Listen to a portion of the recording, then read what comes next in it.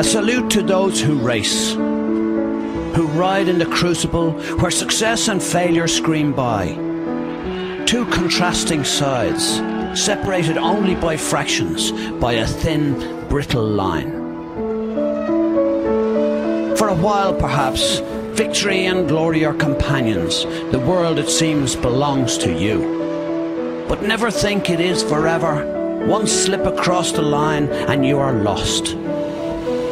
Once a challenger, now no more than a follower. Mark, you need to maintain the gap. Once champions, now only supporting players. Those left in the chasing pack turn to bickering, clawing and scratching as they search for that elusive glory again. Good job, At times, there is also a glimpse through the window to the world outside where good times and bad have far more meaning than mere sport can offer.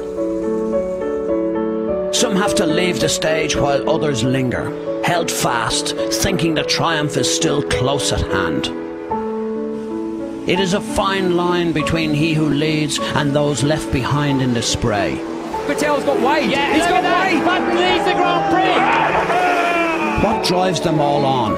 It is the thought of glory, which in the end can fall only to one man. So a salute to those who race, to those who win and lose, succeed and fail in the blink of an eye. And a salute to the champion, to the man who for now enjoys the favours and the spoils. But know that in the quickest of sports, success can be fleeting and savour the glory while it lasts.